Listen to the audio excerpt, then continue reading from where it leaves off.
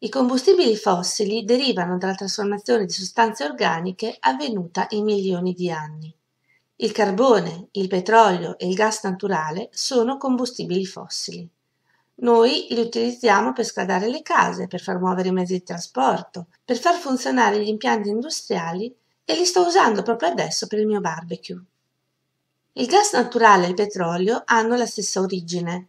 Derivano dalla decomposizione di organismi vegetali e animali morti milioni di anni fa.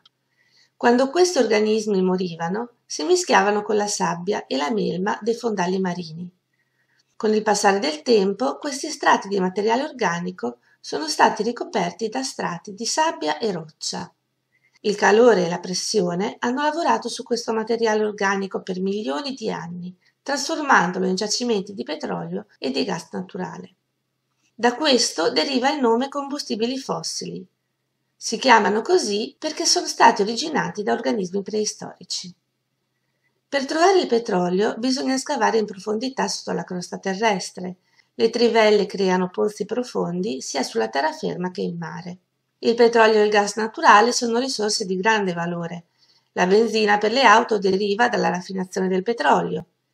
Il gas viene utilizzato per i fornelli e per il riscaldamento.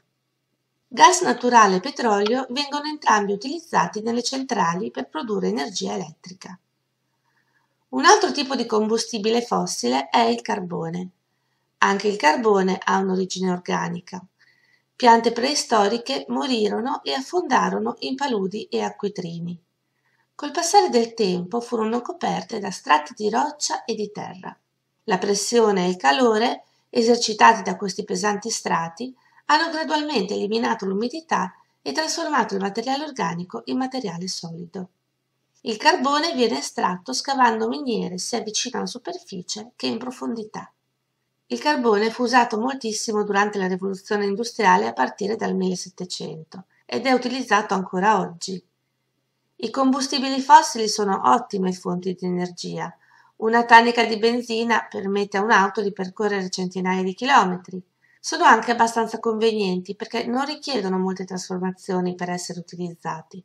Tuttavia, bruciare combustibili fossili produce materiali di scarto che inquinano l'aria e l'ambiente.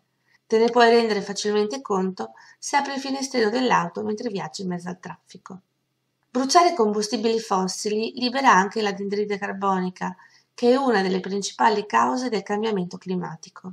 Stiamo già subendo gli effetti del cambiamento climatico, fenomeni estremi come tempeste e uragani, lunghi periodi di siccità che causano incendi frequenti, scioglimento dei ghiacci e aumento del livello degli oceani, con la scomparsa di importanti habitat.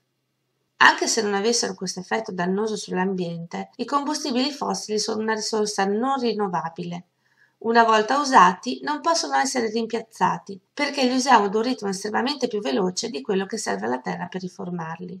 Alla velocità con cui li stiamo usando, probabilmente li esauriremo in meno di 300 anni.